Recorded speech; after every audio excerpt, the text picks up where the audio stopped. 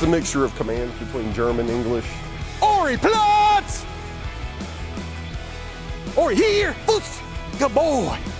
Foos, foos! A majority of our work is doing narcotics detection, tracking suspects who ran or uh, finding lost evidence or things that a suspect may have dropped while fleeing from it. Ory laying down, that indicates to me that he's gotten the odor of something that's out in the field that's got human odor on it. Oh, good boy. What you got, man? What you got? You got something right there? You got something right there? Woo! That a good boy. When he gets in your patrol car, does he know it's time to go to work? Yeah, yeah. Oh, he knows as soon as I get up in the morning, he knows when I come out to get him out of the kennel that he gets excited. Y'all coming out? That's his toy right there. Yeah, that's what uh, a lot of what I reward him with when we do uh, work. His entire day is uh, everything we do to him is play. Whether it might be work for us, but him, he does it for play. He does it for the reward, the praise from me, and he does it for the reward of one of his toys. Come on, man, come on. Get off me, man. Get off me, man. Come on, man. Let me get past you, man. Ory. Come on, man. Ory, Ory.